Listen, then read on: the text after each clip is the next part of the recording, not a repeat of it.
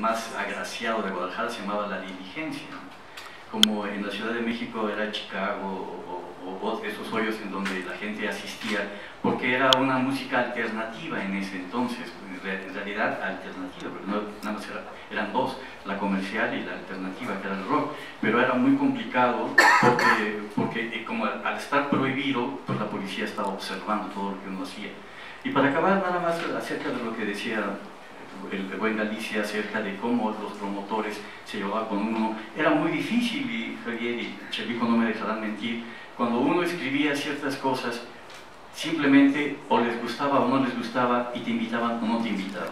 Cuando vino Polis a México, por ejemplo, en el Hotel México, a un servidor no lo invitaron porque yo les caía gordo.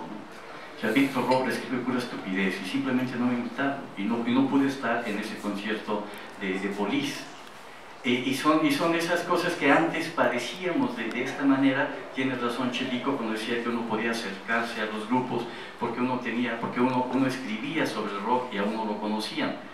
Ya cuando las cosas empiezan a modificarse y el rock se hizo oficial por el gobierno, las cosas empezaron a cambiar y yo recuerdo que mi frase que dije, casi, casi yo dejé de escribir sobre rock cuando Jacobo Zabludowski se convirtió en crítico del rock.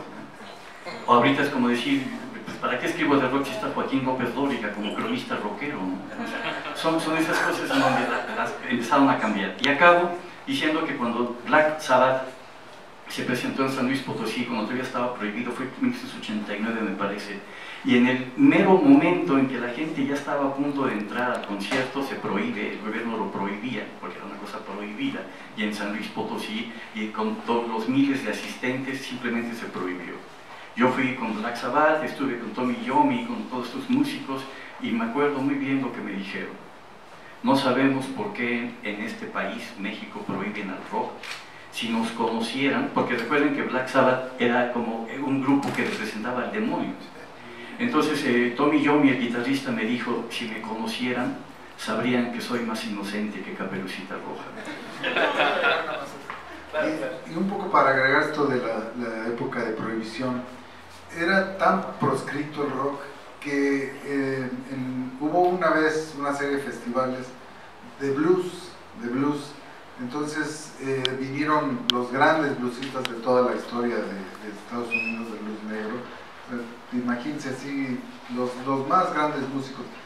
Y como había tanta ansiedad de oír música, y pues finalmente el blues tuvo un hijo, como dijo Muddy Waters, tuvo un hijo y se llamó rock and roll.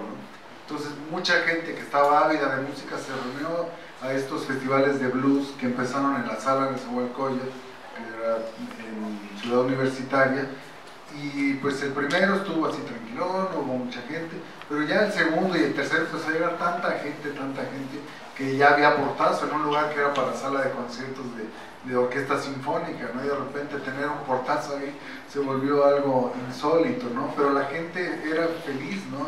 Gente que venía desde Nezahualcóyotl, ciudad de Nezahualcóyotl, a oír al blues, porque finalmente es la raíz de esta música, ¿no? De esto que llamamos ahora rock and roll, o, rock ahora, o pop, Entonces fue, fue interesante porque eso de algún modo abrió también eh, eh, los sentidos de la gente a un género que tal vez percibían que existía, porque finalmente es la raíz, pero nunca habíamos visto estos músicos en México. Que yo recuerde, no habían habido bluseros antes de, este festival, entonces fue muy importante, fue también un parteaguas para, para la música de, para jóvenes entonces, que no había mucha chance de ver nada. Yo, eh, si me permite, nada más voy a contar una, anécdota, una, una, anécdota a propósito de, estaba en el en CEU y yo asistía, en efecto, ahí escuchamos a, a Willie Dixon, a Moody Waters, a Johnny Hooker, y yo recuerdo que salí de, de, de, la sala en Zahualcoyo, ya me iba a ir, eran las 11 de la noche porque quería ver hasta el final cómo acababa todo. Ya era un poco difícil, ya estaba oscuro y me acuerdo que me dijeron, oye Robert, no te vayas, por favor, súbete a, a, esta camioneta y nada más esperamos a un personaje y, y, y nos vamos. ¿no? hay problema, no, pues, al contrario, gracias. Me subí a la camioneta, pasaron 5 minutos, 15 minutos, media hora y un servidor y me van a cerrar el metro. Yo ya, ya, no voy a llegar, pero bueno, ya, ya estaba dentro de la camioneta, yo aquí me estaban esperando. Ya veo que llegan, suben, abren la puerta y sube delante de mí Moody Waters. Entonces era personajes que estaban esperando. Entonces Moody Waters y yo nos fuimos platicando hasta el hotel diplomático y creo que Moody Waters fue la única entrevista que dio en el país conmigo y fue todo. ¿no? Es eh, la suerte. Otra una chiquitita. Sí, venga. la suerte que. Eh, ver, muy el periodista. Muy curioso también en este festival, una anécdota que se recuerda mucho. Eh, hubo un músico violinista que se llamaba Papa John Creech, que tocaba increíble el blues, ¿no? en, en el violín además. Y entonces la gente, con ese ingenio del mexicano, que salga el papayón. ya se volvió papayón para, para siempre. ¿no? Ahí te va. ya. Digo, Yo estaba acreditándome para un concierto.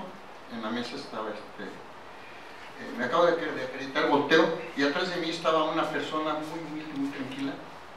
Era Eric Gordo, como cualquier hijo de vecino queriéndose acreditar. Obviamente no me volteé, le dije, ay, sácame la foto para que Pero él llegó a, firmar como cualquier reportero. Y ese día eh, toca- tocaba con el tri, el tri sí andaba de manteles largos, Eric Gordon acreditándose. El,